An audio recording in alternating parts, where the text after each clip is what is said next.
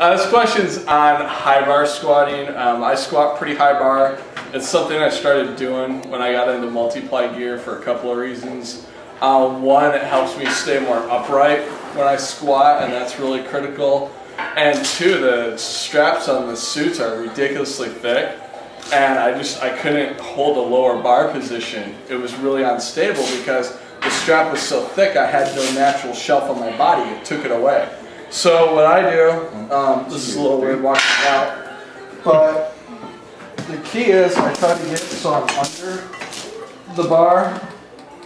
I come up past the bar, and then I back into the bar. And the key is when you unrack, is you want to drive your hips forward, so you're in a straight line. And at this point, you know, I can stand here pretty easily. Um, the key is when you unrack, as you get more weight, it'll be more of an issue. Is it's gonna kind of rattle. You want to wait. You to let it settle. Then you want to take your first step back. You're gonna want to let it settle if the bar's whipping on you. You're gonna take the second step. Some people have to do a third step, so it's more if you start out narrower, it would be back, back out, out. But um, you shouldn't really need more than three steps. At that point, you're set up, you're upright, you want to drive your head back into the bar, and then you want to start by breaking at your hips. So you want to push your hips back. And that's the key to everything. Because if you don't initiate that right, your knees are going to start pitching forward and you're not going to recover. So you want to push your hips back, you want to stay as arched as you can, and then just drive your knees out and sit back. And then up. So and then the key when you're at the bottom is when you're here, you don't want to, your legs shouldn't really be your first move.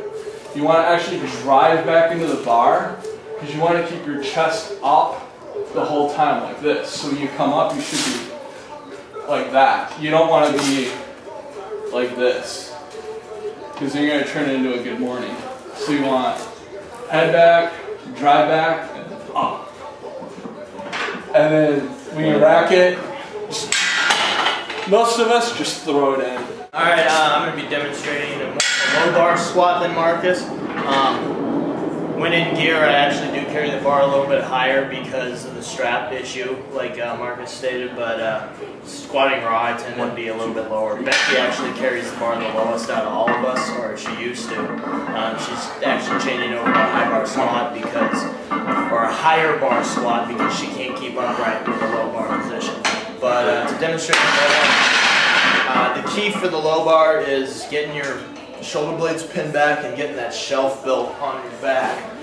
So I'll uh, get under the bar and it's really rear delts, top of my, uh, bottom of my traps, spinal erectors, bar's right about here. So uh, if you can see that, keep your shoulder blades pinned back and together to get shelf going.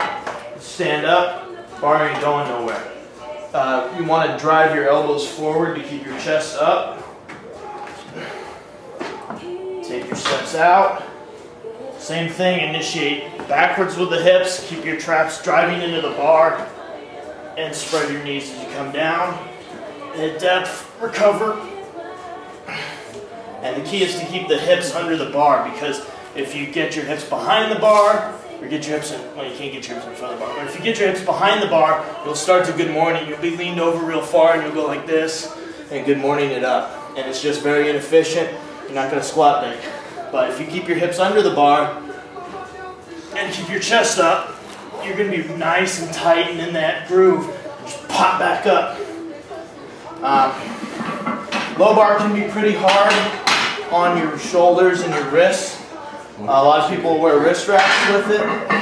Um, and squatting low bar can, like I said, really mess up your shoulders. A lot of people like a buffalo bar, a safety squat bar for a lot of their squat training that way. Okay, uh, going further into the squat thing is uh, differences between raw and geared squatting. We're also going to cover differences between walkout and monolift squatting.